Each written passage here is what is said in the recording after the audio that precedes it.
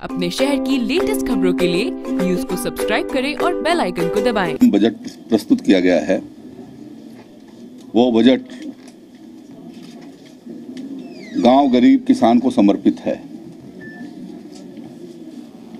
और योगी आदित्यनाथ जी की सरकार ने इस बजट के माध्यम से ये साबित कर दिया है कि बजट पर पहला हक